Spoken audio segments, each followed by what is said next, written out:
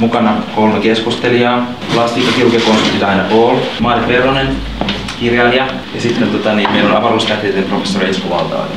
Tässä oli tarkoitus, että asiakas tulee konsultointiin ja sitten hänelle tarjotaan mahdollisuuksia vaihtaa kehon osia Eli jos mä voisin keskustelijoita ensimmäiseksi tavallaan luonnehtimaan jollakin tavalla sitä, että jos ajattelee nykyihmistä ja meidän kehoon, kehoon liittyviä asioita, niin mitkä sellaiset asiat on, mitä nykyihminen joutuu tulevaisuudessa kohtaamaan, minkälaisia valintoja?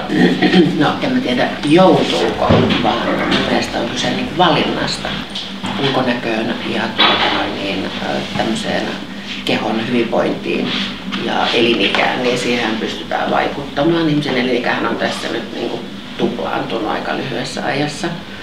Ja se, mitä sitten niin kaikki geenimanipulaatio ja geeniteknologia pystyy tekemään 20 vuoden päästä, niin se on jää arvailujen varaan. Kiinnostavaa on sitten se, että elinikä on todennäköisesti pidentymässä keskimäärin. Ja samaten se, että ihmiset ehkä elää terveempinä aina korkeammalla iällä. Että positiivisia asioita, joista arvo voi olla eri mieltä tästä.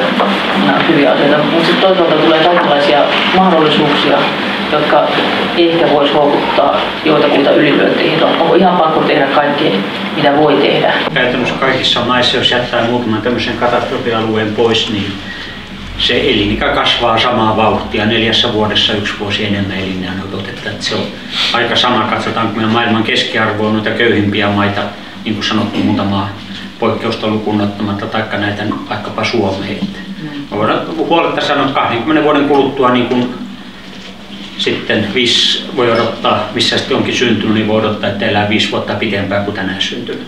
Geenimanipulaatiolla tehtiin keinohedelmöityslapsi, joka pystyy antamaan verta sukula, lapsi, sisaruksellensa. Tämä lapsi keinohedelmöitettiin sitä varten. Siinä ollaan jotenkin niin harmaalla alueella. No niin. Periaatteessa, että jos voidaan korjata joku sairaus, vaikkapa pieniä kävelyitä, niin miksi sitä voitaisiin tehdä? Mutta sitten mm. tosiaan, että, että onko, se, onko se lapsi sellainen, joka olisi niin muutenkin haluttu? Mutta se on hirveän vaarallista lähteä niinku manipuloimaan geenejä. Sehän on Miksi? Rodun ja, no, se on vaarallista siinä on? No, rodun ja... voi sanoa, että on vaarallista alkaa kouluttaa ihmisiä. Tiedän, mitä no, meidän aivoille no, tapahtuu. No, kyllä Mikä muuta oli argumentti vuosisatoja sille, että niinku no. kansa ei saa opettaa edes lukemaan. No se vaarallisuus, kun kysyt, niin mä sanon, se on rodun jalostus. Niin ja mitä vaarallista siinä on? Me ollaan välimuotolaji. Apinoiden ja aitojen ihmisten välillä. Jos mulla on mahdollisuuksia muuttaa sitä kehoa, nuorentaa sitä kehoa, pitää sitä nuorena, niin teekö mä sen, jos mulla on tämä mahdollisuus siihen? keho on vaan matkustusväline, millä mennään niin kuin eteenpäin sit sinne hautaan. Ja jokaisella on oikeus öö, muokata tai tehdä sille keholle, tehdä sitten semmoinen sukulaus, mitä haluaa. Näissä kaikissa, meillä on, mikä tässäkin on tullut esiin, oikeastaan kaksi asiaa, mitä aina sitten kiertyy. Niin Yksi on se, että onko se luonnollista vai onko se luonnotonta ja kuitenkaan kukaan ei pysty määrittelemään mitä on luonnollista. Se on veteen piirretty viiva jokaisella omaa käsityksellä luonnollisuudesta, kun sitä rupeaa vähän kaivelemaan, niin ne on yleensä täysin absurdia ne määritelmät. Ja toinen sitten se, että onko se vaarallista ja siihen vedota sitten vaikka halutaan estää tai rajoittaa tai kieltää esimerkiksi geenimuokkausta. No sekin on ihan hassua, koska kaikki on vaarallista. Lapio on hirvittävän vaarallinen, sillä tapettiin ties kuinka monta ihmistä Ruandassa, mutta emme siltä lapioida olla kieltämässä. Eli jos haaveilee sitä luonnonmukaisesta elämästä, niin tuota, siitä vaan sitten vaatteet pois ja tuonne puskiin ja katsomaan, että millaiset on fiilikset ja ulkonäöt sitten vähän ajan Tämä on luonnollisen asian, kuoleman kieltämisen, eli jonkunnäköisen epärealismin taikaiset ihmiselle jollain tapaa luontaisen tämmöisen ahneuden. Että kaikki mikä on mahdollista pitää saada. Ja Tero kun tuossa heitti kysymyksen, että minkä valinnan hän tekisi, niin mä en voi sanoa mitä mä tekisin vastaavassa tilanteessa. Silleen. Mutta mä toivon, että mä valitsin sen, että mä en remppaisi sen liikaa. Ja mä en suinkaan ajattele tässä mitenkään mustavalkoisesti. No, ja totta kai tässä on paljon harmaita alueita, no, mikä, on liikaa, mikä on liian pitkät hiukset, mikä on liian ruskea rusketus kesällä, mikä on liikaa huulipunaa. Se on veteen piirretty viiva, sitä ei pysty määrittelemään. Että mikä on hyvä elämä? Onko se, että jammata loppuun saakka? Vai onko se niin kuin käydä koko elämisen kaari läpi niin, että myöskin rumuus, vanhuus, jopa, jopa kivut ja sairaus on arvokasta? ja avaa uuden perspektiivin, ehkä ihan uuden kokemusmaailman. Et ei se täyttä elämää, eläminen o, o, olla kaunis, nuori ja rohkea. No siis kauneus ja rummuushan on aina katsojan silmässä mun mielestä, että mikä toisen mielestä on kaunista ja toisen mielestä rumaa, niin se on aina yksilöllistä. Ja se mitä tämä Julia tässä juuri sanoi, niin mun mielestä on kysymys valinnasta, että minkälaisena haluaa tämän aluksen syntymästä hautaan olevan, niin sen muokkaaminen on jokaisen oma asia mun mielestä. On ihan, ihan selvää, että kaikki kärsimys ei jausta. Että, että jos voidaan jotenkin hoitaa asiat niin, että mitä loppuvaiheen vaipossa makaamista ja tällaista ei tule, niin miksipä ei sitä tehtäisi. Rypistyneenä luomuvanhuksena eläminen voi olla ihan täyttä elämää ja, ja onnellista elämää. Että, No, mä oon käyttänyt plastiikkakirurgiaa tähän mennessä saman verran kuin joku henkilöasunto on Helsingissä tuolla vähän itäisemmällä suunnalla ehkä. Niin tota, totta kai jokaisessa operaatiossa on riskit, mutta että se, että, että tota, edelleen viittaan tähän alukseen, jolla matkustamme, niin vaikkapa auto, sitä tuunaillaan, maalaillaan, pestään, vahataan, että se ei vuostuisi. Niin mun mielestä siitä on kysymys tässä näin. Että jos tällaista tulee niin kuin no normi. Esimerkiksi työelämässä aletaan vaatia tietynlaista ulkonäköä. Se on ja, ja niin kuin pain, se jo, painostetaan, painostetaan, painostetaan ihmisiä tekemään yhä hurjempia operaatioita, jotta tämä, Mikä on hurja operaatio? onnistus. No siinä on just se epämääräinen, mikä se kenellekin on. Mm. Koska joillekin tulee joku plastikkakirurgia ja, ja normaalia, mutta joku toinen voi taas kauhistua. Muistaakseni joskus tuossa vähän aika sitten Kiinassa naisten varpaat taivutettiin tonne Se on just esimerkki, Alle. esimerkki niistä hurjista ylilyönneistä, joita voi tulla. Että, että on. Jos ajatellaan sillä tavalla, että lääkkeet kehittyy sillä tavalla, että me pystytään niin kuin, niin kuin upgradeaamaan meidän kehoja niin kuin tulevaisuudessa sillä tavalla, että aina jos joku paikka rupsahtaa, me saadaan uudistettua se. Meidän kehot, myös niin kuin sisäelimet ja myös niin kuin ulkoiset asiat pystytään niin, niin kuin jatkuvasti päivittämään niin kutsutusti aina uusin versioin. Mutta tarkoitan sitä, mitä, koska se kuitenkin se ihmisen mielen kokemus lisääntyy koko ajan. Ja siis se kokemus, niin mieli vanhenee, mutta keho ei. Ajatellaan nyt ihan oikeasti tulevaisuutta, ihan tuommoista lähitulevaisuutta, että olisi hyvin hämmästynyt, jos sadan vuoden kuluttua meillä ei olisi käytössä keinoja saada ihmiset elämään, sanotaan vaikkapa 300-vuotiaiksi terveinä, aktiivisina, paljon paremmalla kropalla ja myöskin aivoilla varustettuna kuin mitä me ollaan nyt tällä hetkellä.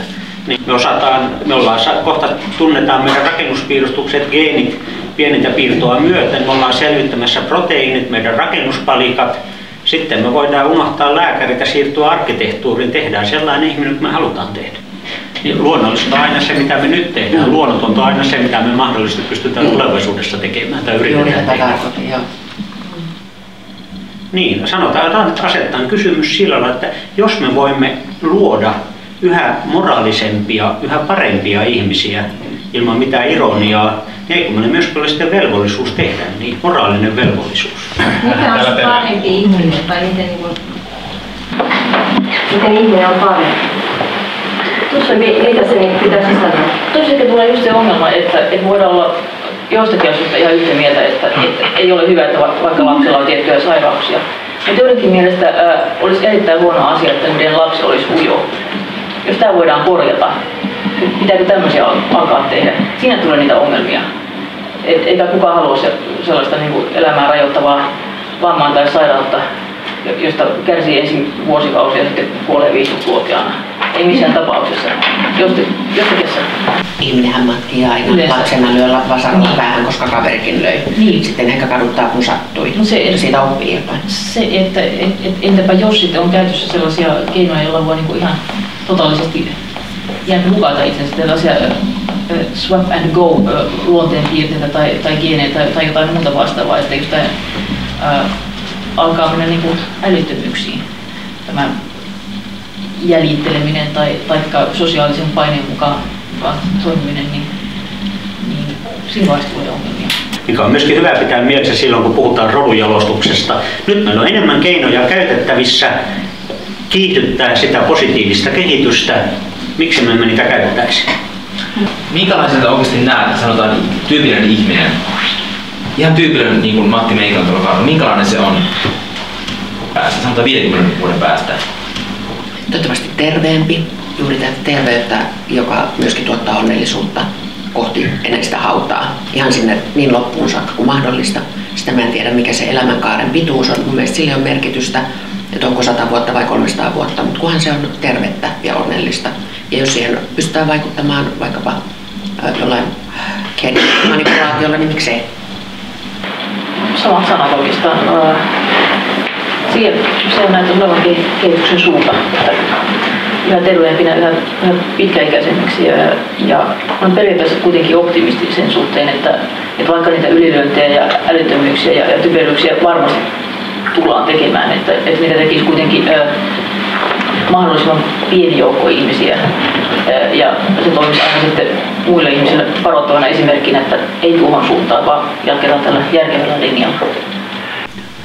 50 vuotta sitten Suomen bruttokansantuote oli suunnilleen yksi viidesosa siitä, mitä nyt voisi sanoa, että vauraus ja vähän lainausmerkeissä hyvinvointi oli yksi viidesosa siitä, mitä nyt. Mä muistan ajan 50 vuotta sitten, muistan vaikkapa millä tasolla silloin oli terveydenhoito tai koulutus ja opetus ja minkälaisia olivat valinnan mahdollisuudet sitten suurimmalla osalla kansasta. Nyt tällä hetkellä maailman keskimääräinen bruttokansantuote on viidesosa siitä, mitä Suomessa.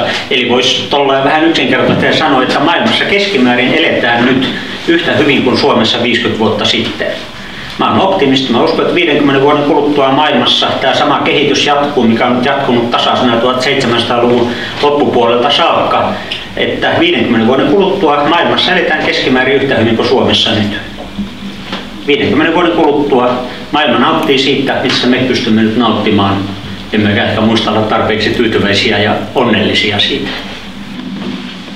Ollaanko me hirveän pettyneet, jos 50 vuoden päästä, jos Manskulla se perushevo, mikä siinä kävelee, niin ei poikkea meistä yhtään millään lailla. Että ihan tätä samaa taukkaa edelleen seuraavat 50 vuotta. Onko se huono asia? Oletko me pysähdytty? Mä uskon- Oletetaan, oletetaan koko ajan, että se on jotenkin erilaista. Se, se, se, se, ole? oikeastaan tarkoittaa sitä, että me on painettu jarrua kaikessa mahdollisessa. Vede, vede, vede, vedetty hätäjarrusta ja pysäytetty kaikki. Se olisi, se, niin, tai törmätty tiiliseinä on tullut se romahdus, mistä tämä maailma Pentti Linkolat ja muut unelmoi. Se kyllä tarkoittaisi sitä, jos kehitys olisi pysähtynyt, se myöskin tarkoittaa sitä, että sille lopulle maailmalle se mahdollisuus päästä sinne, missä me nyt ollaan, on sitten tavalla tai toisella se mahdollisuus on kadotettu. Eli jos täällä 50 vuoden kuluttua täällä samanlaisia yhtä kelvottomia ihmisiä kuin me ollaan täällä istuu ja keskustelee, niin kyllä tämä maailma silloin on menossa lujaa vauhtia sitten päin tuhoon. Et siinä on aina niin joko tai suunta, että ei voi niin kuin, olla semmoista, konse- semmoista niin kuin säilyttämisen ajattelua. On päässyt tälle tasolle, eiköhän se riitä. että No, jatketaan. tämä on juuri kun tämä taso ei riitä. Ei ne, ne maailman, maailman ihmiset, joilla ei ole niin hyvin kuin meillä, ei tämä maailman nykytila riitä. että jos otat sitä 50 vuoden sykleissä aina taaksepäin, niin voit aina ajatella, että aina on tap- muutos tapahtunut aika radikaalia kaikissa asioissa. Että Et se, että jotenkin pysähtyisi tähän on aika abstrakti. Ei meidän homo sapiens, ei meidän äly ja viisaus ja meidän tiedeteknologia ole suinkaan lopussa. Maailma on vasta alussa eikä tässä niin kuin, ottamassa viimeisiä niin kuin, haparoivia askelia ennen sitä romahdusta. Tietenkin jos me halutaan saada tämä romahdus aikaiseksi, tämä tämmöinen linkolalainen unelma, niin kyllä me siihenkin pystytään, kun kaikki voimamme jännitetään siitä, että saadaan maailmanloppu aikaiseksi, mutta se on meidän valintamme. Niin tavallaan kaikki pysähtyy, että ei enää keksitä. Kiitoksia.